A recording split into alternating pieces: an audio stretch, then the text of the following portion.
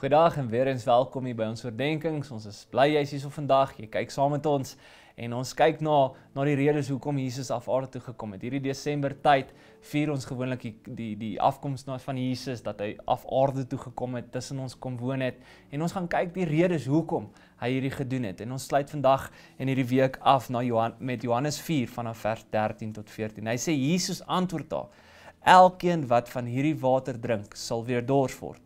Wie egter van die water drink wat ek hom gee, sal immers sal nimmers as te nooit weer dors word nie.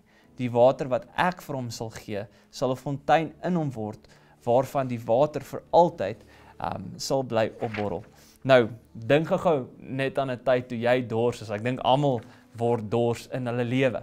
Dalk het jy gaan draf, dalk was dit baie warm geweest, dalk het jou keel net droog geword. Nou, dis gewoonlik nie 'n aangename belewenis nie en dan wil jy net water of iets drink net om daai dors te les.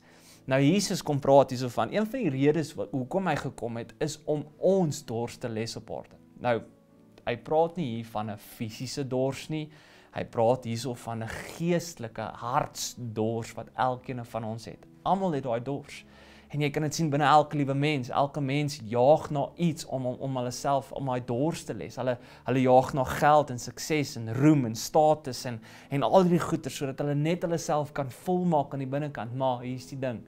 Die dinge van hierdie wêreld en en en die aardse goed gaan nooit ons werklike geestelike hartsdors versadig nie. Dit sal nooit kan nie.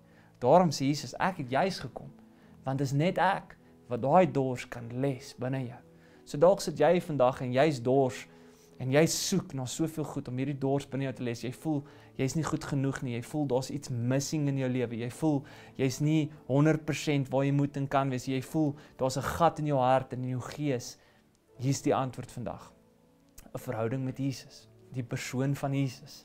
Hy wil en kan en hy gaan jou dors kan les in jou lewe. So as jy op soek is, as jy dors is in hierdie lewe, draai na Jesus toe.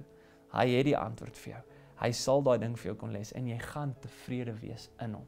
So as jy nog nie daai keuse gemaak het vandag nie, maak dit weer eens daai keuse en sê ook vir God dankie dat hy gekom het om ons dors te les hier op aarde. Kom ons bid dit nou ook saam.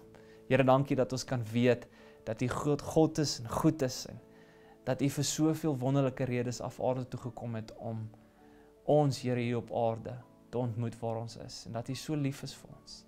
Here, dankie dat ons vandag se rede kan raak sien dat Here dat U gekom het om daai dors in ons hart en in ons gees te kom les. Want Here, soveel van ons hartklop rond en soek soveel goed om hierdie dors te les hier binne ons. Maar Here, dankie dat ons kan weet in U en net by U sal ons daai dors kan les. En Here, ek bid vir elkeen wat dol wat dors, vir elkeen wat soek, vir elkeen wat rond hardloop na antwoorde. Dat hulle dit sal gaan vind by U en dat hulle daai keuse vandag sal maak. Here, dankie dat U gekom het vir dit. Dankie dat ons kan vashou aan dit. En ons kom bid dit vandag in Jesus Christus naam alleen. Amen. En amen. Baie dankie dat jy vandag ingeskakel het. Ek wil jou weer eens net herinner aan al ons dienstye wat môre gebeur. Jy kan ook inskakel op livestream op Facebook en al die platforms. So as jy kan, skakel gerus in môre. Dankie dat jy hier was vandag. Mag jy ook 'n goeie dag verder geniet. Goed gaan.